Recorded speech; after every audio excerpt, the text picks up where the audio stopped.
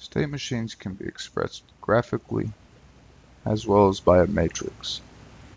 In the xtUML editor, this is supported through a state event matrix tab that is attached to the graphical editor.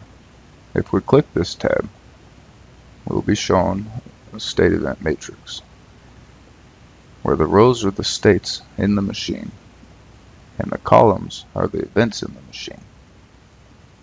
The matrix cells describe what happens when an event is sent to the class while in a certain state. In this case, if we receive the start stop press event while we're in the stop state, we transition to the running state. The state event matrix captures the exact same data that's in the graphical editor. We can see this by looking at the stop state and seeing that we have a transition that occurs once we receive the start stop pressed event to the running state, which is shown in this row main column. Another thing to consider is event ignored and can't happen.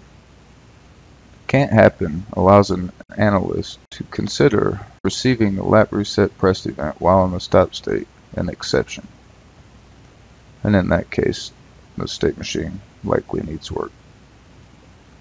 Additionally, you can choose the event ignored, which the analyst then says that we may receive the lap reset pressed event while in the stop state, but we don't want to respond to it and we want to ignore it.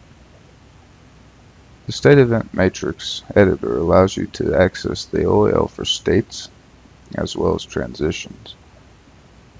Simply single clicking on one of them will bring up the OAL editor, which you can then modify, save, close, and return to the state event matrix editor.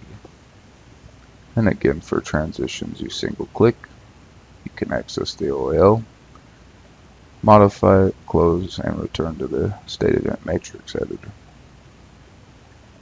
The state event matrix editor is a good way to review your state machine.